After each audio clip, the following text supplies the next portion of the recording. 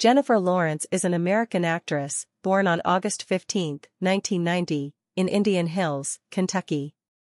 She was discovered at the age of 14 by a talent scout in New York City while on vacation with her family.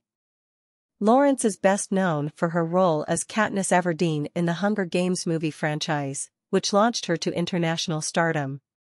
She won an Academy Award for Best Actress for her performance in the 2012 film, Silver Linings Playbook. Lawrence has also appeared in several other critically acclaimed films, including American Hustle, Joy, and Red Sparrow. She is an outspoken advocate for feminism and has spoken out against gender inequality in Hollywood. In 2015, Lawrence wrote an essay for Lena Dunham's Lenny Letter about the gender pay gap in the entertainment industry. She is also known for her quirky and down-to-earth personality, often making candid and humorous comments during interviews and public appearances. Lawrence is a trained ballet dancer and was involved in cheerleading during her high school years.